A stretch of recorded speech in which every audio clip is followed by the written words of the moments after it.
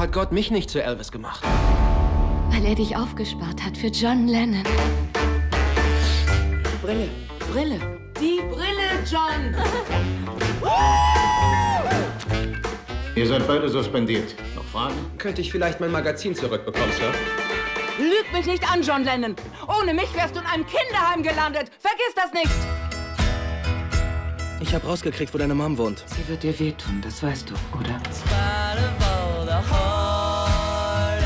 John, Das wird deinem Freund aber nicht gefallen, stimmt's? er ist nicht mein Freund. Was ist er dann? Mein Cousin?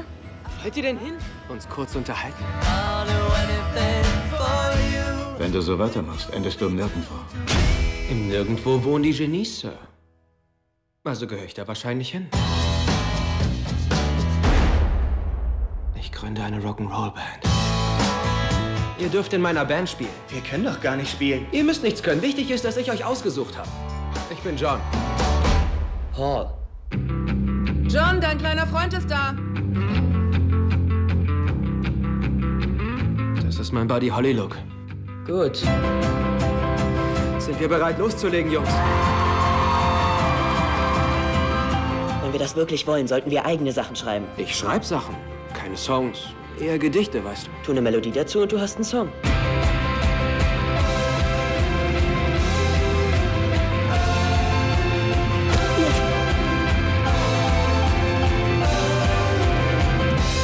Ich fahre nach Hamburg.